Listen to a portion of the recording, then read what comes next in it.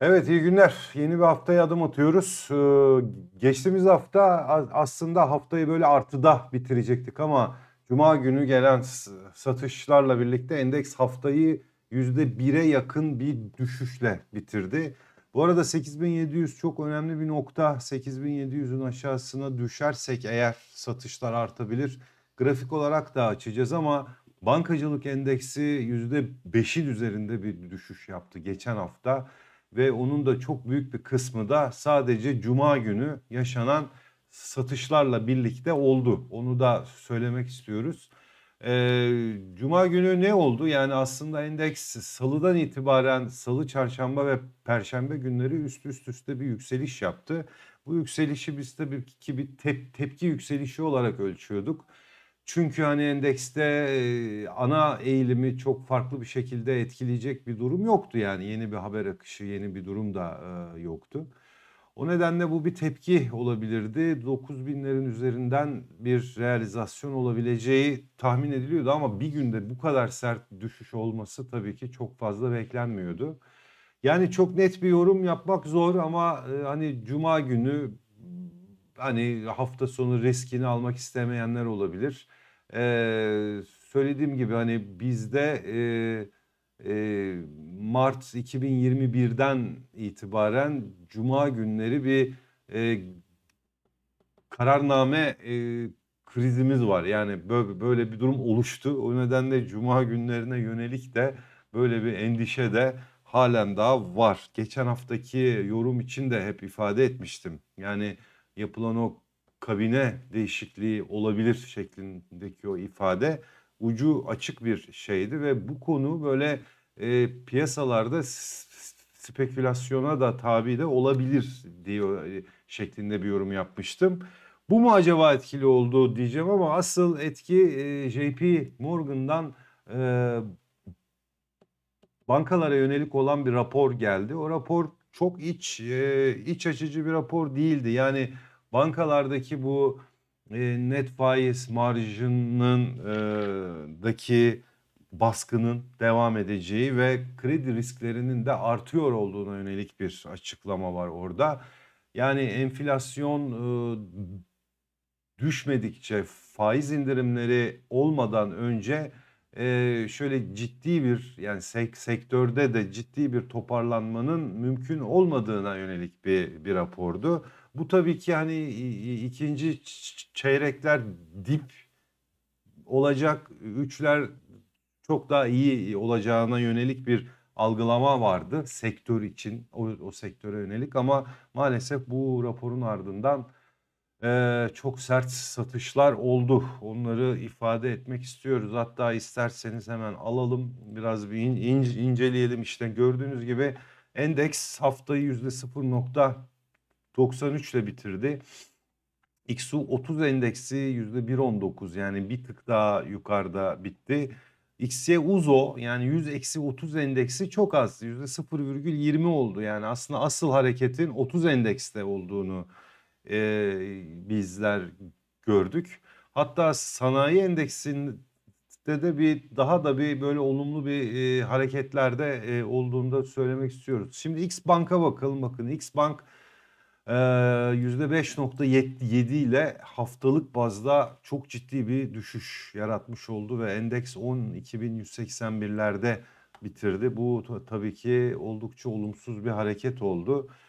Çok büyük ihtimalle bu raporun ve bankacılık sektörüne yönelik hani daha iyi bilançolar olur mu şeklindeki bir beklentinin daha da olumsuz olduğuna yönelik bir algı yarattı ve bu da aşağı doğru indi. Sanayi endeksi de %0.07 artıyla yani neredeyse yatay bir şekilde bitirdi. Geçtiğimiz hafta çok ciddi bir şekilde sanayi endeksinde çok olumlu yönde bir ayrışmamız oldu. Bunu da ifade edeyim. En çok düşen sektörümüz, sektör endeksimiz likit bankalar oldu %5.8. Xbank %5.7 oldu. Sigorta sektörü %3 düştü. Gıda sektörü %2.65 düştü. Mali sektör 2.56 ve bu şekilde iniyor. En çok yükselen %9.5 ile bakın çok ciddi yatırım ortaklığı sektörü oldu. Bu da enteresan bir yükseliş var. İnşaat endeksi ki Enka inşaatın etkisi var %5.20.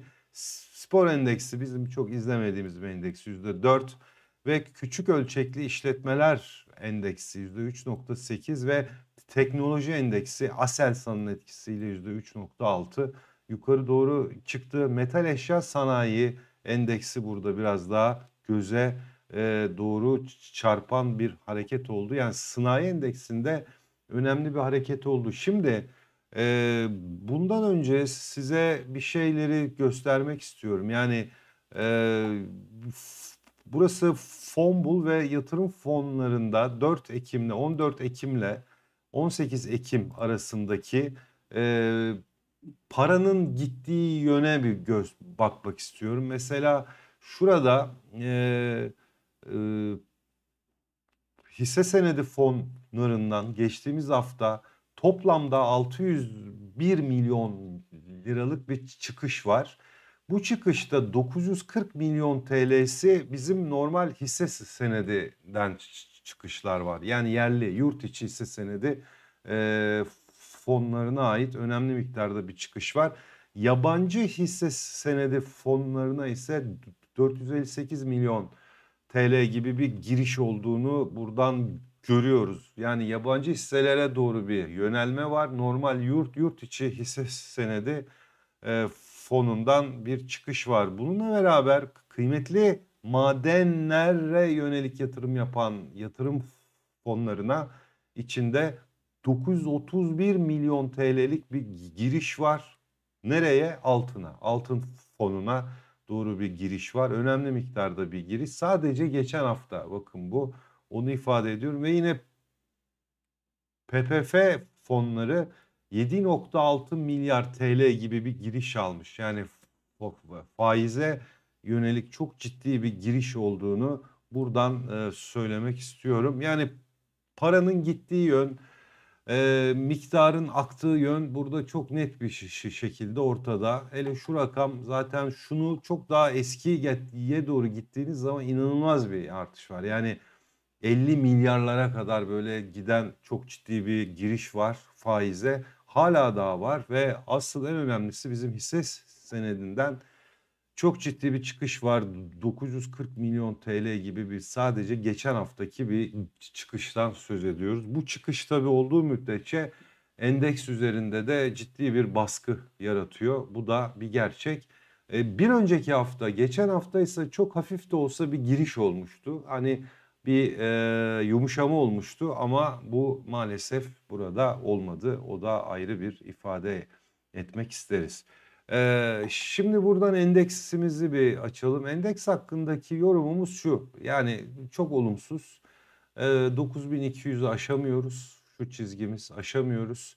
Şurada 8700'de bir çizgi var. Bakın ne kadar önemli bir çizgi bu. Yani şurada çok ciddi bir yatay e, yapmış. Şuralarda bir zirve çalışmaları var. O yüzden 8700 çizgisi önemli. Burayı galiba test edeceğiz.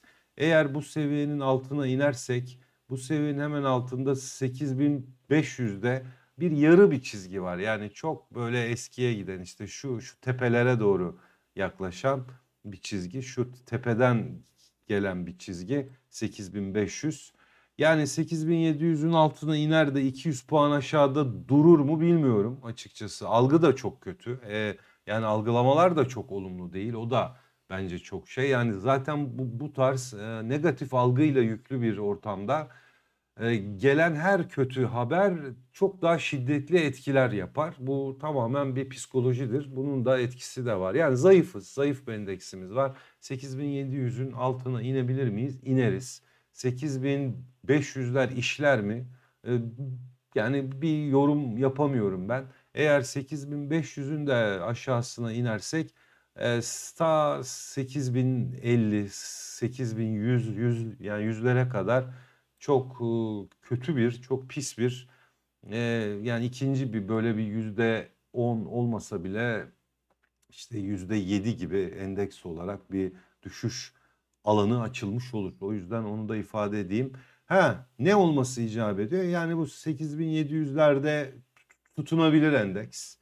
E, tutunabilir. İşte bir, yani yukarı doğru bir tepki falan da yapabilir. İşte şurası bizim için önemli yer 9200'ler. Bu seviyeyi aşmalıyız ama yani 9200'ün üzerine çıkmadıkça endekste hani bir şeyler oluyor şeklinde bir yorum yapmamız çok zor. Bunu da yapamıyoruz açıkçası. Endekse bir de bir default olarak açalım. Şöyle bir yani ortalamalarına falan e, baktığımız zaman bakın RSI 30'da vurdu. Biraz yukarı çıktı ama yeniden 30'a vurdu. Tekrar çıktı. E şimdi belki yeniden 30'a vuracak. Yani hakikaten endekste 30'a gelince bu şekilde böyle depresif hareketleri çok sık yaşamıyoruz. E, haftalık grafikte 50 haftalığın altına ineli 3. hafta bitti. 3 haftadır 50 haftalık ortalamanın altındayız ve e, giderek o taraf da zayıflıyor. Şurada e, işte 22 e, 100 haftalık ortalama var artık hani 100 haftalık ortalama. O orayı takip ediyoruz. E, RSI e, şu anda 34'te daha hala bu 30'a falan yani in, inmemiş ama bu eğer 30'a inerse orası işte hakikaten harbi bir e, tam bir dip gibi bir nokta falan olabilir. Çünkü haftalık bazda endeks için söylüyorum yani hisse senetlerinde haftalık bazda RSI'ya hani böyle düşmüşlüğü falan yani olabilir ama endeks olarak haftalık RSI'nin 30'a gelmesi çok zordur. Bakın şurada gelmiş işte 16 Mart 2020 o da çok olağanüstü bir gündü işte deprem oldu biliyorsunuz inanılmaz bir satış oldu falan. O, o zamanlar gelmiştik. Şimdi hala gelebilmiş değiliz ama yani gelirse de cidden bir kriz ortamı gibi bir ortamda gelmiş olacağız. Onu da söylemek istiyoruz. Çok hoş değil. Tabii yani endeksin 100 haftalık ortalaması nasıl, söylemenin alemi yok. Şu anda çok uzak bir nokta o ama hani bizde şu anda e, şu çizgi e, 8500'ler ve daha aşağıda 8200'ler var. Ara ara yerler yani.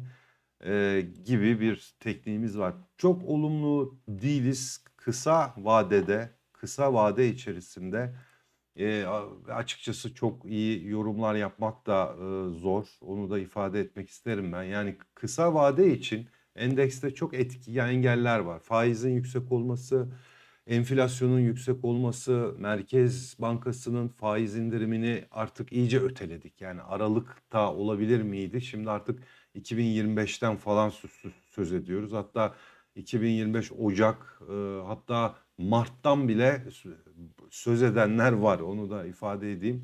Ama hadi en azından o kadar uzağa gitmesek bile 2025'ten önce bir faiz indirimi biraz yani olmayacak gibi bir hava var. Merkez Bankası geçen hafta faizi tahmin edilen gibi %50'de e, bıraktı. Çok fazla oynamadı.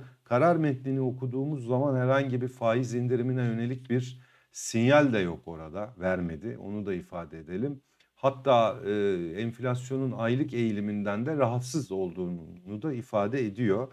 Bu da bize yani Merkez Bankası için faiz indirimi yapmak şu aşamada çok kolay değil şeklinde bir yorum yapıyor. ECB geçen hafta e, bu yıl üçüncü kez faizini indirdi ve 25 bips ile in, indirimle %3.25'e geldi. ECB Başkanı Lagarde'ın açıklamaları burada önemliydi. Yani ekonominin beklentilerden daha zayıf olduğunu ifade ediyor bir kere. Bu arada Almanya ekonomisi falan hakikaten çok kötü. Yani bir zamanlar Euro bölgesi ekonomisinin lokomotifiydi Almanya. Şu anda ise neredeyse iki seneye yakın bir zamandır bir resesyon içerisinde falan hareket ediyor. Yani e, faiz indiriminin et, etkisinin zamanla etkili olacağını ve toparlanmanın da zaman içinde olacağını ifade ederek yani aslında Euro bölgesi ekonomisi için 2025'e atıyor şeyi o okları. Bununla beraber hani enflasyon halen daha güçlü olduğunu, önümüzdeki aylarda enflasyonda bir artışın olabileceğini de ifade etti. O da çok enteresandı. Şu anda e, tüf enflasyonu Euro'da, Euro bölgesinde yıllık yüzde 1.7. Ha bu arada yüzde 1.7 için tabii e, bütün bu şeyler oluyor. Yani bütün bu yorumlar falan yapılıyor. Bizdeki gibi bir enflasyon olsa herhalde intihar edecekler. E, Çin'de geçen hafta bir e, şey açıldı. Şimdi bu euro için daha sonradan bir yorum yapacağım. Yani Çin önemli. Çin'de endeks cuma günü %3'e yakın yükseldi. E, büyüme verilerini aldık geçen hafta. Beklentilerin üzerinde %4.6 gibi bir büyüme yaptı ama asıl hedef biliyorsunuz orada %5. Bunun altında bir büyüme var ve hükümetten yine daha ilave teşvikler olabileceği yönünde de açıklamalar yapıldı ve Şangay Endeksi gayet güzel bir şekilde yukarı doğru bir hareket yaptı o tarafta. Hatta onu da size açalım. Şurası bir kere MSCI Emerging Market arkadaşlar. Burası geçen hafta düşüş yaptı. Şunu çizgi yaparsak daha net anlayacaksınız. Ortalamaları da biraz atalım. Biraz daha evet şu şu anda düşüyor. Tabii bunda Çin'in etkisi var son düşüşlerde. Ama bu arada gelişen ülkelerde de hani çok olumlu da hareketler yok. Yani Brezilya'da yok, Afrika'da yok, Hindistan'da yok falan. Hani bizde de yok. Yani bizde öyle bu açıdan gelişen ülkeler içerisinde çok da böyle e, ayrışmalı bir harekette yaptığımız söylenemez. Hatta geçen hafta gelişen ülke piyasalarından da çıkışlar var yani aslında. Bunda tabii Fed'in beklenenden daha yavaş faiz indirim yapabileceğine yönelik de beklentiler var. Burası bu şekilde aşağı doğru iniyor ama şey endeksi Çin endeksi, Şangay endeksi de bu şekilde bakın bunu yeniden mum yapalım. Mum yapalım. Gördüğünüz gibi Çin aslında ilk o ilan edilen o teşvikle inanılmaz yükseldi. Sonradan o teşviklerin yetersiz olabileceğine yönelik beklentilerle bir düzeltme yaptı. Şimdi cuma günü yeniden iyi bir şekilde çıktı. Bu, bu burası galiba gidecek gibi duruyor. Yani yukarı doğru ham, hamlelerine devam edecek. Yani Çin etkisiyle gelişen ül, ülkeler endeksi biraz daha negatif ay şey yapabilir. Endeksini yukarı doğru ittirebilir. Burası Sensex Hindistan endeksi. Bakın o da aslında 27 Eylül'den itibaren iniyordu ve şimdi o da ortalamasına geldi. 100 günlük ortalamasından bir tepki yapıyor. Bovespa'yı açarsanız Bovespa'da da aşağı yukarı 28 Ağustos'tan itibaren aşağı doğru bir düşüş olduğunu görmeniz mümkün olabilir. Rusya RTS endeksi de Zaten orada yorum yapmak zor. Zaten burada biraz da ilginç bir grafik var. Haftalık olarak da bakıldığında zaten Rusya'nın endeksi çok çok iyi değil. Onu da ifade etmek istiyoruz. Şimdi gelecek hafta nelerimiz var? Ee, çok önemli bir gündem yok. Yani PMI verileri var e, Amerika'da ve Avrupa'da. Bu arada Amerika'da IMF toplantıları başlayacak. Bütün bir hafta sürecek. Bizim ekonomi yönetimi de Amerika'da olacak. Amerika'dan nasıl bir haber akışları var? Hani Türkiye hakkında nasıl yorumlar yapılıyor? Bunları da görmemiz mümkün olabilir. IMF'in Türkiye incelemesi raporunda bildiğiniz gibi uygulanan ekonomik programın mali ayağının zayıf olduğu zaten ifade edilmişti. Belki o vurgular tekrar yapılabilir o tarafta. Eee, bununla beraber, eee, Amerika'da dayanıklı mal siparişlerini alacağız. Cuma günü zannediyorum. Eee, bizde de tüketici güven endeksi ve kapasite kullanım oranları verileri alınacak. Hani en azından orada bir kıpırdanma falan olacak mı? Bu açılardan iyi olacak. Şimdi gelecek hafta artık 3 aylıkla yani 3. 3 aylıklar 9 aylıklar ilan edilecek. Geçen hafta Aselsan geldi yalnızca. Onun haricinde e, bir şey yoktu. Salı günü Ereğli ve İstemir alınacak. Ereğli'de e, tahminler aşağı yukarı Ereğli'nin 100 milyonla 170 milyon TL arasında bir zarar açıklayacağı yönünde bulunuyor. Onu e, eklemek yani şey mümkün. E, hatta biraz daha şuradan bir açabilirsem size Ereğli ne yapmıştı, ne etmişti o konuda bir şeyimiz olur, fikrimiz olur en azından. E, Ereğli'de zarar tahmin ediliyor. Açıkçası hani hacimsel olarak da çok güçlü ol, olmadı. Ürün fiyatlarının e, düşük kalması ve e, verimliliğin yine düşük olmasından ötürü e, Ereğli'de yine çok önemli, çok güçlü bir tahmin yok açıkçası. Şu anda Ereğli bu 6 aylığı biliyorsunuz e, Ereğli döviz cinsinden bilanço açıkladığı için enflasyon muhasebesi yapmıyor. Ereğli ikinci çeyrekte 4.3 milyar TL gibi bir net kar yazmıştı ki bu bayağı iyi bir kardı. Birinci çeyrek için de 5.6 milyardı. Yani 5.6 4.4 milyar üçüncü çeyrekte 100-150 milyon TL zarar gibi zararlar burada biraz daha öne çıkıyor. Bunu ifade etmek istiyorum. İstemir hakkında çok fazla bir yorum yok. Çarşamba günü TAV var ve Türkiye sigorta gelecek. Türkiye sigortanın tam tarihi net değil. Yani çarşamba günü olabilir de olmaya da bilir de. O yüzden o konuda bir ekleme yapayım ama TAV net bir tarih çarşamba günü almış olacağız. TAV'da bakın birinci çeyrekte iki buçuk milyar lira gibi bir e, kar vardı ve TAV'da 121 milyon TL gibi bir üçüncü çeyrek kar tahmin ediliyor. Çok büyük ihtimalle bu döviz cinsinden bir kar olacak. E, 121 milyon dolar gibi. E, onu da söylemek istiyoruz. Yüksek bir sezon. Hani ikinci çeyreğin çok daha üzerinde bir kar rakamı ilan edilecek bu tarafta. Onu da ilave edelim. Şimdi Perşembe günü Akbank geliyor, Ebebek geliyor ve traktörde kar rakamları alacağız. Yani Akbank'ta açıkçası e, kar rakamları çok e, güçlü değil. Yani ikinci çeyrek yani 8.8 e, milyon TL gibi bir rakam alınacak orada.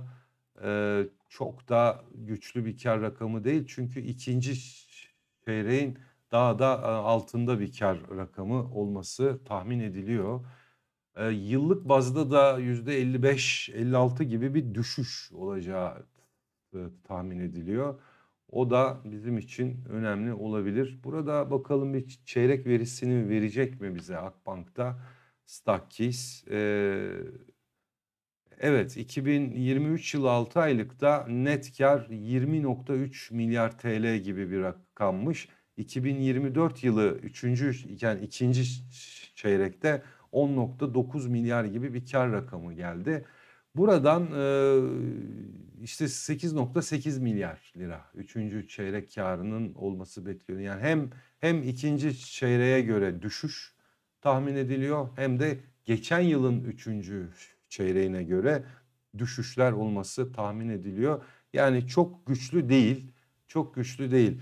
Traktör için herhangi bir beklenti yok ama hani normal şartlarda normal e, hani zaten bir düşüş içerisindeydi. O nedenle e, hani yıllık bazda cirosu yüzde sekiz buçuk gibi bir düşüş yapmıştı. Bununla beraber e, tabii ki faaliyet giderlerin artmasından ötürü esas faaliyet kar marjı 2 puan kadar düşmüştü. O düşüşle de beraber esas faaliyetleri yüzde 18'lik bir düşüş yapmıştı. İşte finansman geliri yazıyor bu arada e, traktör. Enflasyonun etkisiyle de 300 milyonda bir zarar yazmıştı ve net olarak 3.8 milyar TL gibi bir kar yazmıştı. Net kar da geçen yılın %25 altında. Reel anlamda tabii, reel anlamda %25 altında. Aynı hareketin devam edeceği tahmin ediliyor. Yani ikinci çeyrekte de 1.9 milyar TL gibi bir kar vardı. Bir, birde de öyleydi. 1.8 gibi bir kar vardı. Aşağı yukarı buna e, paralel yönde bir bilanço geleceği tahmin ediliyor. Ebebek ikinci çeyrekte öne çıkan bir şirket olmuştu. E, yani çok iyi bir e, faaliyet, operasyonel sonuçlar ilan edilmişti burada. İkinci çeyrekte geçen yılın ikinci çeyreğine göre her, her şey hep yukarıdaydı. Mesela esas faaliyet karı yüzde 40-48 yukarıdaydı cirosu %10'a yakın artış göstermişti. Net karda 36 milyon lira gibi bir kar yazmıştı ama FAVÖK karı 475 milyonla hem geçen yılın ikinci çeyreğinin %26 üstündeydi hem de birinci çeyreğe göre %240-42'lik bir artış vardı. 6 aylık olarak da gayet iyiydi. Bu arada hani kar marjı olarak da hem birinci çeyreğin hem de geçen yılın ikinci çeyreğin üzerinde marjlar yapmıştı. O nedenle böyle güçlü ve öne çıkan bir bilançoydu. O yüzden hani Ebebek'teki ilan edilecek olan bir bilançoyu, bir kar rakamını e, bizler de çok merak ediyoruz açıkçası. Onu ifade edeyim. Arçelik gelecek Cuma günü Anadolu Hayat ve Arçelik gelecek. Anadolu Hayat da hani tahmin ediliyor o gün ilan edileceği. Etmeyebilir. Sigortacılıkta şunu söyleyeyim yani Anadolu Hayat ve Türkiye Sigorta'da ikinci çeyrek sonuçlarına hemen hemen aynı sonuçlar tahmin ediliyor. Sigorta sektöründe asıl AGESA'da çok iyi karlar olabileceğine yönelik yorumlar okuyoruz. Arçelik'te ikinci çeyrekte 432 milyon TL gibi bir zarar vardı. Maalesef üçüncü çeyrekte 2.7 milyar lira gibi bir zarar geleceği tahmin ediliyor. Bunda e, hem yurt yurt içindeki o güçlü seyreden satışlardaki şeyin e, biraz daha o tarafta bir yumuşama var. Zayıflık var. Bunların bir et, etkisi var. Avrupa çok hareketli değil. İkincisi ve en önemlisi Whirlpool'un satın alınmasıyla beraber tek seferlik giderler olacağına yönelik beklentiler var. O nedenle de 2.7 milyar lira gibi çok güçlü bir e, zarar olabileceğine yönelik be beklentiler var açıkçası. Evet kısaca bunları söylemek istiyorum ben. Bunların haricinde arkadaşlar e, şunu da söylemek istiyorum. E, e, uzun vadeli yani kısa vadede endeks için çok çok bir yorum yani yapamıyoruz. Yani havalar olumsuz, iyi değil. 8700'ün altına iner mi? İnebilir. Öyle bir hava var. Mali sek sektörde geçen e, hafta oluşan o, o satışlar gelecek haftada devam edebilir. X Bank e, önemli bir yer vardı 12.200'lerde o seviyenin altına indi. Bunun altı şu, şu anda 12.100'lerde ama 11.400'lere kadar aşağıda bir destek var. Yani oraya kadar bile bir düşüş olabilir. Bu da tabii BIST 100 endeksini negatif etkileyebilir. Bunu ifade etmek yani istiyorum ben. Ee, yani sıfırla 3 ay arası yani 3 aya kadar gibi kısa vade için BIST 100 endeksinde maalesef bir şey yok. Böyle kısa vadeli ilgilenenler falan varsa hani biraz zorlu bir 3 ay yaşanacak. Ama uzun vade içinse eğer amacınız buradan hani gelecek bir yıl hatta ve iki yıl içinse iki yıl sonrasına yönelik bir alım yapmaksa bence çok ideal yerlerde olduğunu tahmin ediyorum. Yani bu seviyeler hatta endeks daha da aşağıya inerse hani böyle adım adım alımlar. Yani şimdi al arkana yaslan bekle endeks eğer inerse yeniden al artık çünkü endeksin geldiği yerler falan da bence bir yıl ve iki yıl sonrası için oldukça cazip yerler. Uzun vadeli yatırım için bence çok iyi yerlerdeyiz ve uzun vadeli yatırım yapan pek çok insan da artık yavaş yavaş alıyorlar. Yani en azından benim etrafımda olanlar da alımlar giderek artıyor. Çünkü 2025'te bir fa faiz indirimleri falan olacak artık. Yani bu kadar önlem alınıyor, bu kadar olay var. Faiz indirimleri oluşacak. Bu bir kere pozitif bir etki yapacak. İkincisi enflasyon düştükçe enflasyon muhasebesinin etkileri azalacak. Yani parasal zarar yazan şirketler artık kar yazmaya başlayacaklar ve eski normal kar marjlarına doğru bir yakınsama olacak, yükselişler olacak, daha iyi karlılıklar olabileceğini tahmin e, e, ediyorum. Avrupa ve Amerika'da ekonomilerin şu anda yapılan faiz indirimlerinin etkilerinin 2025'in artık ikinci yarısından itibaren daha fazla etki etmesini tahmin ediyoruz. Yani bu nedenden ötürü yani şu, şu seviyeler artık bilanço olarak da artık en zayıf seviyeler olacağını 2025 ve 2026'da daha güçlü bilançolar olması tahmin ediyoruz. O yüzden uzun vadeli yatırım için ideal yerlerdeyiz ve portföyler yavaş yavaş oluşturuluyor. Ama kısa vadeciler için hani bir üç ay kadar daha endekste çok önemli e, hareketler olmayabilir. E, hani şey anlamında yani yeni bir gelişme falan eğer olmadıkça tabii yeni çok olumlu bir durum oluşur bir şey olur. E, pek öyle bir durumda yok gibi ama en azından olmadıkça burada işler zor. Yani yüzde elli bir faiz var. Herkes işte az önce size de gösterdim. Herkes faize akıyor. Hani dünyada ralliler var. Herkes yabancı hisse senedi fonlarına akıyor. Ee, bütün bunlar varken hani burada Türk hisselerine yurt yurt içi hisse senetlerine kısa vadede çok fazla bir akışkanlık yok olmayabilir. Olmadığı için de endekste de o istenen yükselişler olmayabilir. Malzeme yok zaten. Yani bilançolar yok. Yani bilançolar güçlü gelse diyeceğiz ki yani bir şeyler olabilir. O da kötü. O da iyi değil.